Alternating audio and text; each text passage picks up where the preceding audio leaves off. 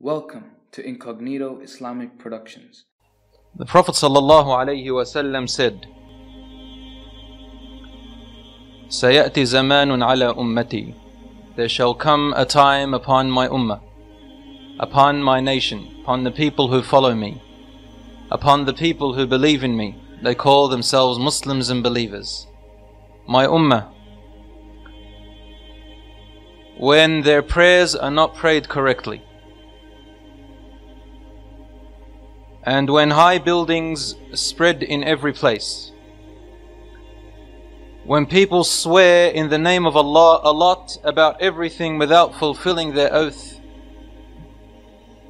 people curse each other a lot.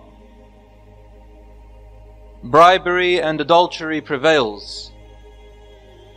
People neglect the hereafter in order to buy the luxuries of this world in exchange for the hereafter. So people become materialistic. The Prophet ﷺ said, فَإِذَا رَأَيْتَ ذَلِكَ فَالنَّجَاةَ النَّجَاةِ If you see this happening in your time, then seek refuge, seek refuge. Find a solution to get away from all of this. It's not an easy solution, but you need to stay away from all this.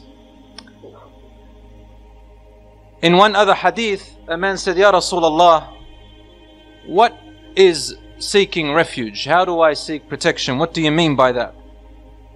And Rasul gave an expression like this. He said, By adhering to your house and keeping your mouth shut and hold your tongue and hand from doing unlawful until death comes to you. There's going to come a time even worse than this one, brothers and sisters, where a person becomes so confused about what is happening in the world, so deluded by everything that they see and hear that they're not going to know what to do and where to go and who to stand with.